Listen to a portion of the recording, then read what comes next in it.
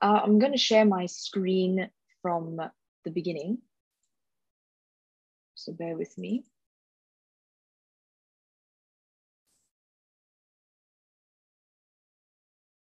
Um, are you all able to see this?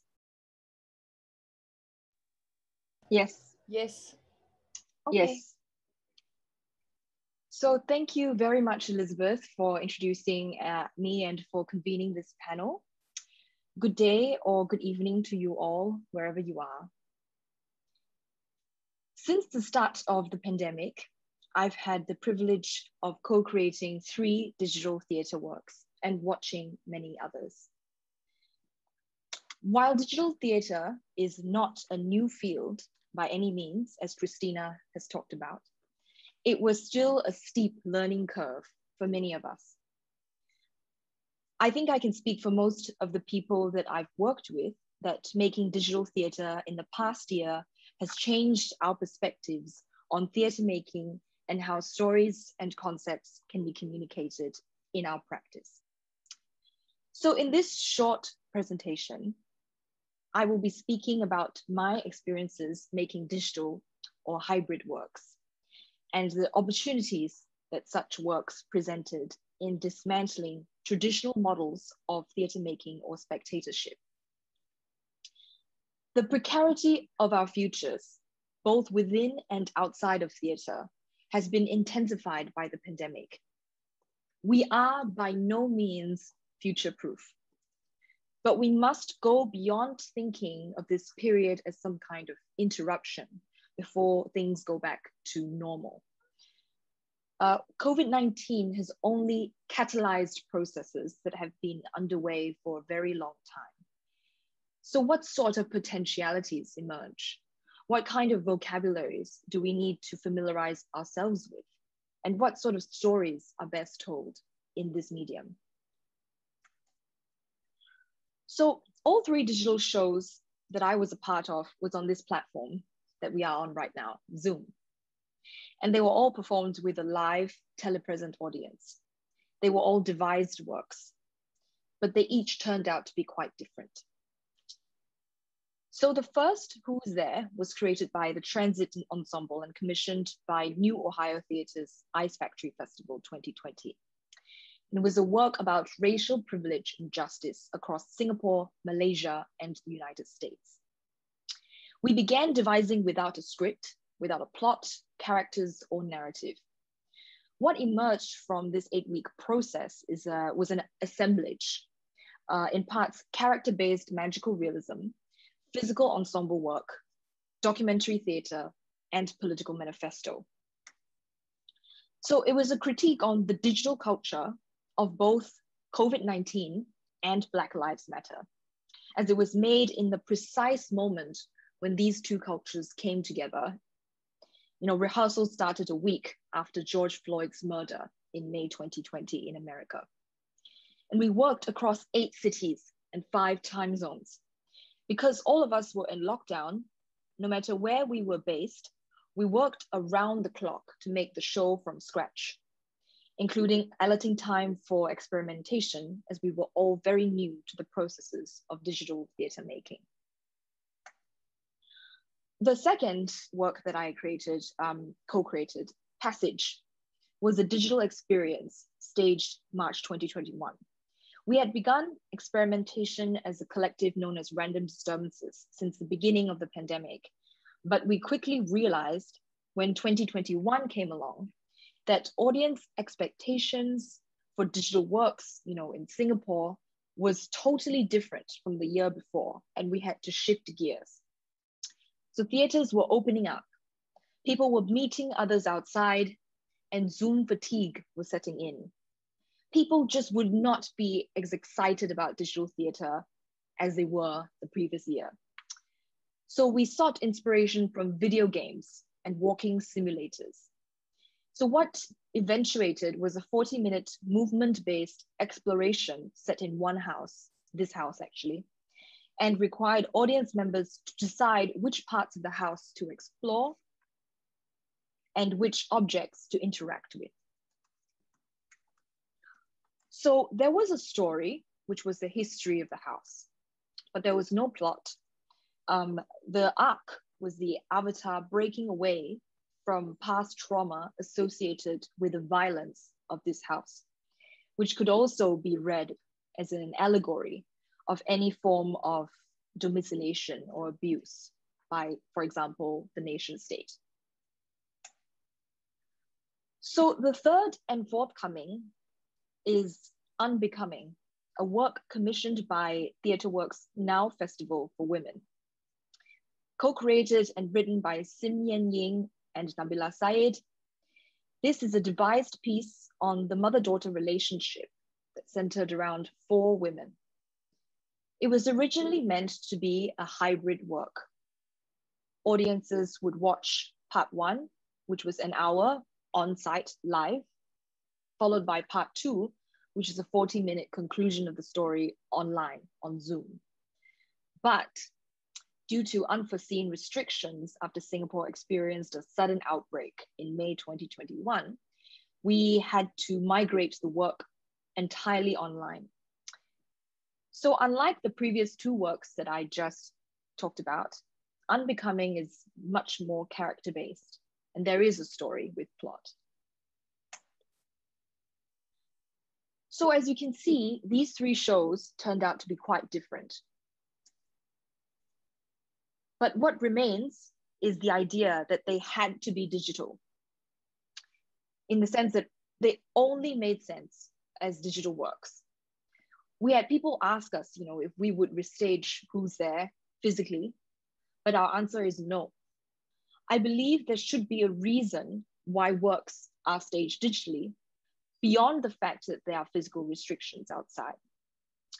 So the old cliche that theatre holds a mirror to society definitely applies to digital theatre, especially since much of our identities, our social lives, uh, and even our societies are shaped by, by digital means.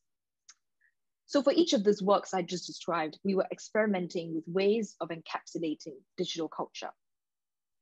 So to quote um, Miriam Felton Dansky, we wanted to utilize a kind of viral dramaturgy that draws new technologies into service and pushes to the fore assumptions about how and why we pass ideas, affects, and gestures to one another. Zoom is a playtext a performance and a digital form that collapses old dichotomies between the live and the mediatized. It is able to ask these larger questions by virtue of the intermedial affordances on the platform. But this platform is also able to turn these questions reflexively and specifically onto itself as a mode of performance in our mediascape today. So consider, for example, the idea that it has now become completely normal to apprehend our mediated other, as I am apprehending myself right now, as we interact with each other. So on Zoom, there is no time delay between the performances of seeing and being seen. So what was once an uncanny experience of subjective interpolation that is normally saved for new media performance artists is now very normal, very routine for everyone, as long as they have a webcam or take selfies. I believe digital theatre has the capacity to defamiliarize this new norm and reveal the circumstances behind the reproduction of the self vis-a-vis the other. So towards the end of Who's There, after a particularly thorny discussion amongst the ensemble members who played their own performer selves.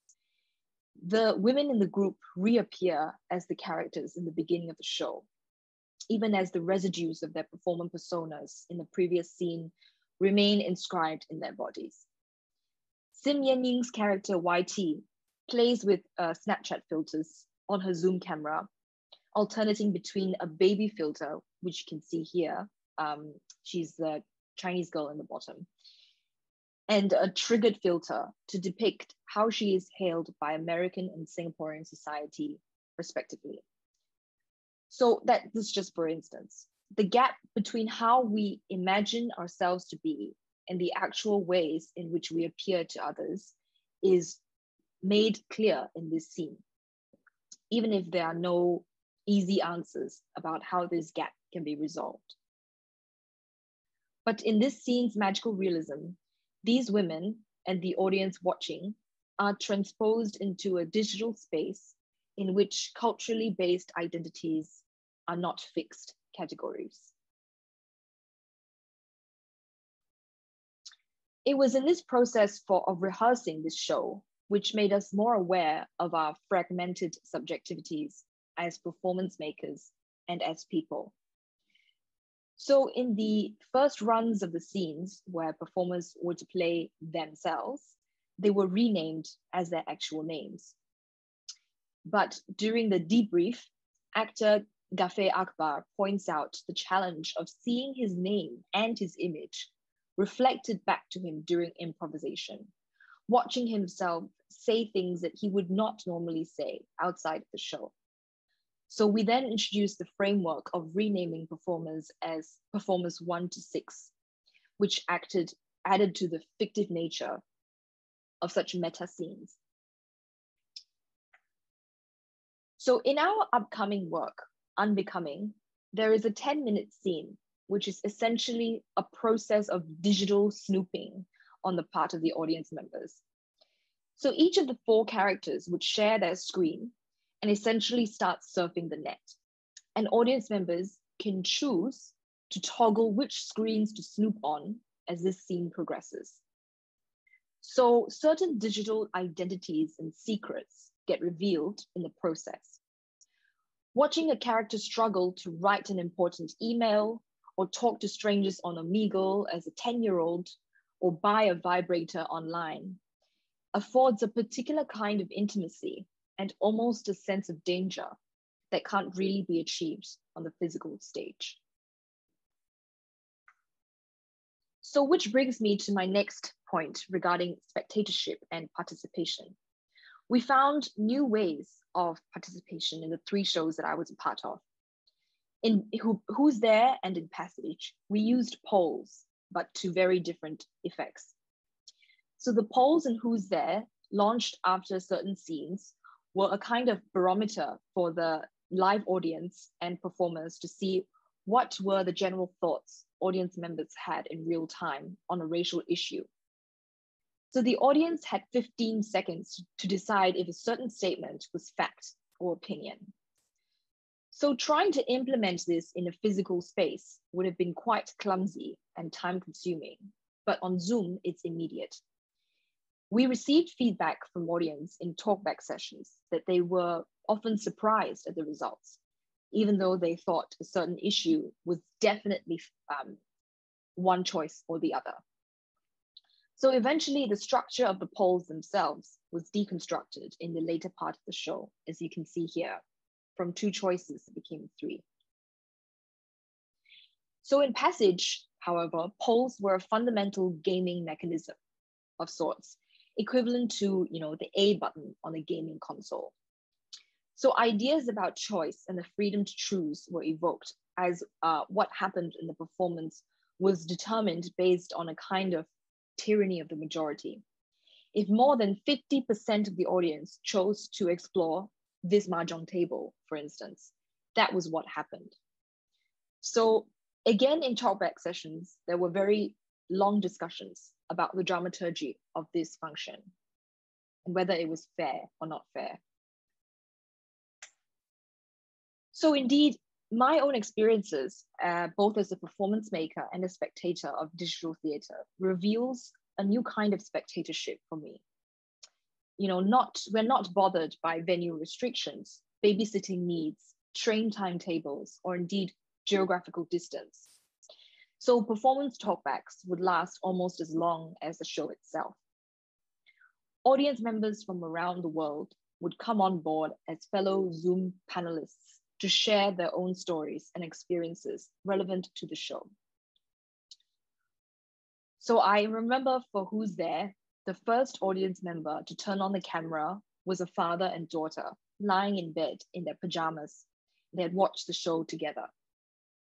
So of course, digital spectatorship is not the same intimacy as being next to one another in one place. but it is a form of intimacy nonetheless. Likewise, I've seen how digital theatre making presents opportunities to dismantle conservative and hierarchical modes of creating performance. The new performance vocabulary afforded by Zoom made our roles in the collaborative process very fluid and open as we learned the particularities of this vocabulary together. And this vocabulary keeps changing because of both the nature of the work and the movement of technology. In the Singaporean context, we were also able to evade censorship by staging our work online. As long as ticketing was done internationally, we did not have to go through national censorship procedures. So digital theater, in conclusion, is not a substitute for live theater, obviously. That said, the distinction between the live and the mediatized in theater has long been problematized. More importantly, as both performers and audience put their bodies and stories on the line or online, can we really say they are not with us alive? Thank you.